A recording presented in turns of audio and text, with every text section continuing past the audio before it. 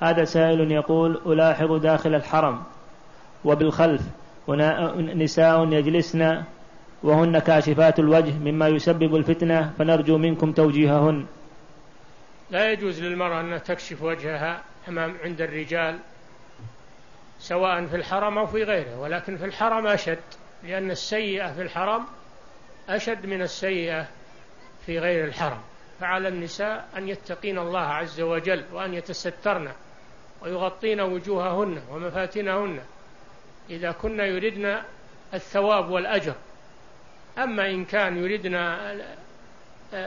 يردن الإثم وجئنا للمباهاة وعرض زينتهن وأزيائهن على الناس هؤلاء ما جئنا للأجر إنما جئنا للمراءات. نسأل الله العافية. فعلى المرأة أن تتقي الله. وعليك أنت أن تبلغ أن تبلغ القائمين على شؤون المسجد الحرام في هؤلاء النسوة ومكانهن حتى يلزموهن بحكم الله سبحانه وتعالى. نعم.